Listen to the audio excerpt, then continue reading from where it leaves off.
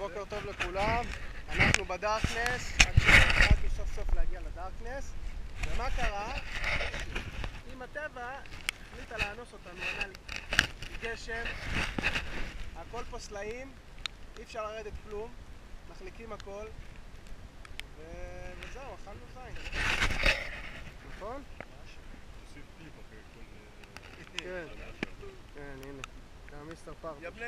זונו... איך אנחנו זורמים. אם ראיתם את הוידאו הזה, סימן שלא שרדנו. יאללה,